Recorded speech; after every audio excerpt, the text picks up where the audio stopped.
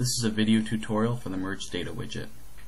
The Merge Data widget allows you to combine two data sets based on a common attribute. For this tutorial I'm going to use Table A, which describes height and weight, and Table B, which describes height and hair color. So first you have to drag down the file widgets and open your files.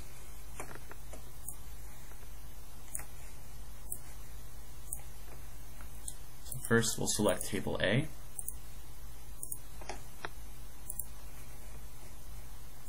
name it as such. Then we'll select table B and name it.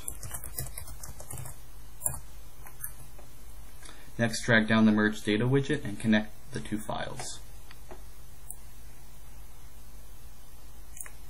When you connect the first file, you're given the option to select A or B for that particular file.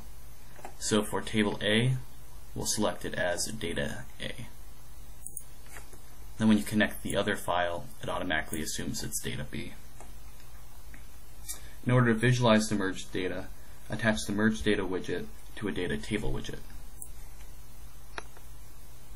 Today we're going to merge our data on the height attribute.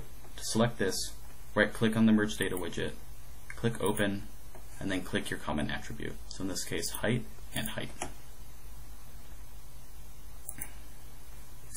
When we connect the two widgets, we're going to be asked to merge either A plus B or B plus A. In this case, merging A plus B means that the heights in table B will be matched against the heights in table A. When two heights match, table A is appended with information from table B and vice versa for B plus A. So select A and B. Okay. If we open the data table, we'll see a new table with our merged data. So we have the heights and weights from table A, and then hair color information from table B. The question mark here indicates that the height 56 was not present in table B, and therefore there isn't any hair color information available.